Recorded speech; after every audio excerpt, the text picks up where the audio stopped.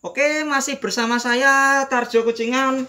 Di episode kali ini tepatnya tanggal 18 Juni 2018 saya akan ambil tema unboxing jualan semalam kira-kira dapat berapa ya Mas Soalnya posisi ini pada waktu liburan anak undip ya. Jadi ya nggak seperti biasanya. Contoh dagangannya kayak gini ini masih ya dagangannya tempe, sate masih.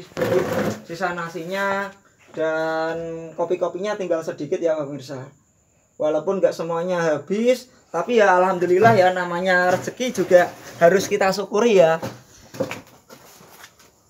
Langsung aja ya pemirsa ya. Oke kira-kira ini dapat berapa ya? Saya juga sendiri kurang tahu soalnya ini posisi waktu liburan kuliah ya. Kita hitung dulu ya pemirsa ya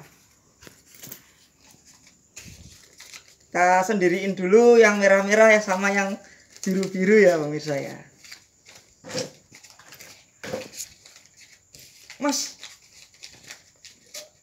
udah berapa tahun sih mas jualan nasi kucing?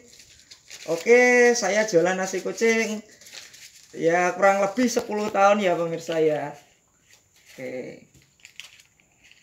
Loh mas kok nggak ngambil kerjaan yang lain cerita sedikit ya pemirsa ya. Dulu saya alumni Politeknik Negeri Semarang. Saya ngelamar-ngelamar kerja dari tempat satu ke tempat yang lain. Ternyata saya dapatnya berpikirnya wah kerja di luaran tempat AC enak gaji 2 juta ya UMR Semarang saat itu tahun 2007 tapi kenyataannya hanya pas-pasan ya pemirsa ya. Ya lebih baiklah wirausaha sendiri walaupun kayak gini ya pemirsa ya. Oke. Dalam video ini nggak bermaksud untuk kita untuk menyombongkan diri atau istilahnya pamer ya pemirsa ya. Cuma sebagai motivasi bagi teman-teman yang punya wirausaha atau jualan di luaran sana ketika kita punya niat dan kemauan serta kerja keras insya Allah seperti yang kita harapkan ya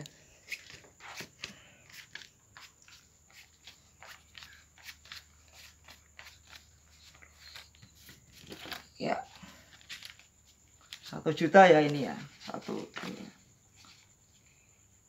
enam tujuh delapan sembilan puluh Oke, ternyata ya lumayan juga ya walaupun anak kuliah liburan ya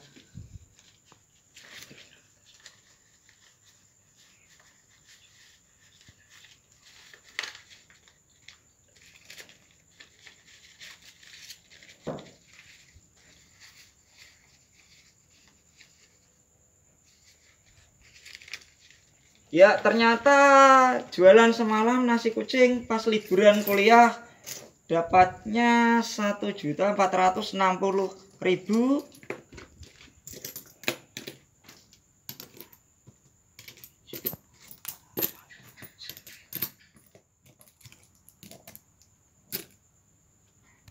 Ya, saya ulangi, saya jualan nasi kucing pas liburan kuliah dapatnya satu juta empat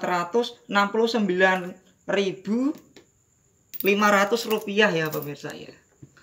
Ya kita syukuri ya walaupun agak ya nggak begitu ramai kayak biasanya soalnya pada waktu kuliah jadi dagangannya masih ada sedikit ya kita syukuri aja.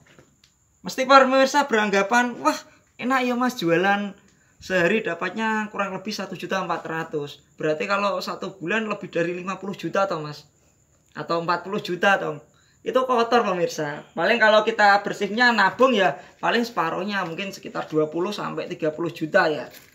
Oke. Sebelum kita lanjut silahkan komen di bawah ini ya. Di komen di kolom bawah ini silahkan masukan-masukan dari pemirsa.